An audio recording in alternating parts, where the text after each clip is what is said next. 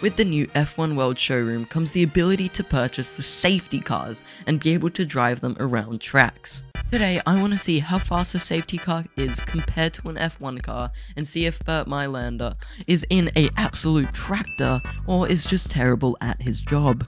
Let's see how fast this thing really is. As we begin our first lap, oh god, this is gonna go terribly. I can feel it. And we've invalidated. Lovely. Invalidated. Yep, okay. Lovely.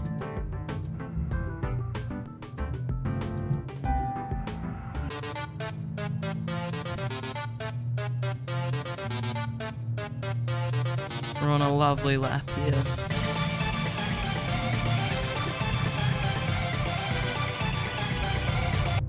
No! Oh my god, I'm actually gonna complete a lap. Is mental. What is it? A 218.3. Wow. That is so incredibly fast. Over to the Mercedes safety car now. Will this be any faster than the Aston Martin one? Let's see.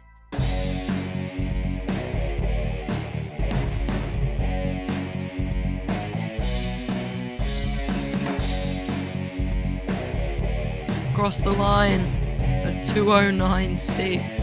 Now it's time for the actual F1 car. This should be so much faster. I want to see how fast I can go here.